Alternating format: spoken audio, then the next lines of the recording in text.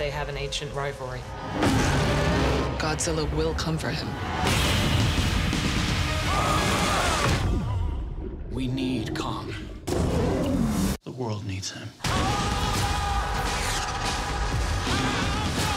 Kong may be our only hope to save our world.